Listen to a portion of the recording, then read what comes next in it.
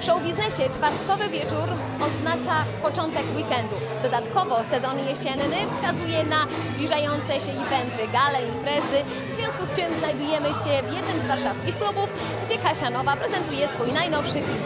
Przyjrzyjmy się bliżej temu wydarzeniu.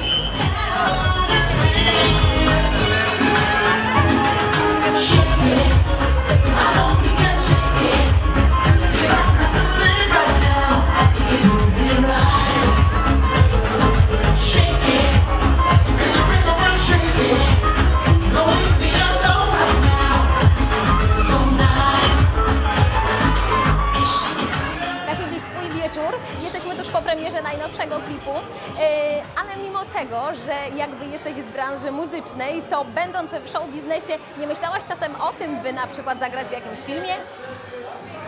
Myślałam, oczywiście, że myślałam. Nawet e, tuż po maturze zdawałam do szkoły filmowej w Łodzi, w ogóle jestem łodzianką, ale się nie dostałam. Miałam takie marzenie, ale stwierdziłam bardzo szybko, że jednak e, a wokal to jest, to jest to, co zdecydowanie lepiej mi wychodzi. Czyli mimo wszystko jest to myślę dobrym pomysłem, taki program z rodzaju talent show Zostań gwiazdą filmową, czyli warto dawać szansę nowym twarzom, prawda?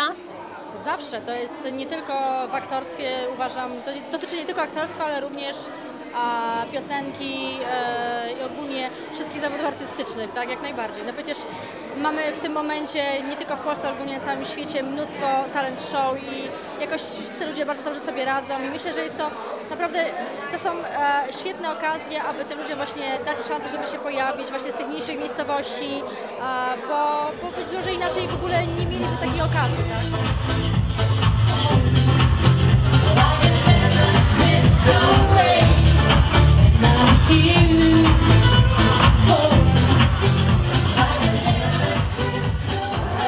Dzisiejszego wieczoru dominują gwiazdy ze sceny muzycznej, ale następnym razem będzie o wiele goręcej, bo wśród nas będą gwiazdy filmowe, którymi pamiętajcie, wy również możecie się stać.